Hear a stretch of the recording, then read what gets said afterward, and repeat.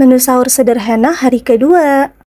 Ada urap, ikan nila goreng, tahu goreng dan juga sambal. Pertama rebus semua sayuran, sayurannya sesuai dengan yang kalian butuhkan. Selanjutnya tumis bumbu yang sudah dihaluskan, dimasak sampai harum. Ada cabai merah, cabai rawit, bawang merah dan juga bawang putih. Beri sedikit air lalu masukkan kelapa parut. Diaduk-aduk sampai merata, kemudian tambahkan garam, kaldu jamur dan juga gula merah. Diaduk-aduk lagi sampai bumbunya merata.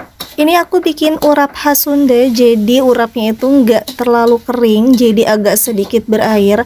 Tapi kalau untuk menu sahur sebaiknya urapnya itu kering, biar nggak gampang basi. Selanjutnya masukkan sayuran yang sudah direbus. Diaduk-aduk lagi sampai bumbunya ini meresap ke dalam sayuran. Tips dari aku, masak bumbu dan juga rebus sayuran pada sore hari, kemudian simpan di dalam kulkas, dan menjelang sahur baru dipanaskan. Untuk menu kedua, goreng tahu, ini sudah dibumbui, bumbunya sederhana, bawang putih, ketumbar, dan juga garam. Setelah matang, angkat lalu tiriskan. Untuk menu yang ketiga, sekarang saya mau goreng ikan nila. Goreng sampai matang, kemudian angkat dan tiriskan.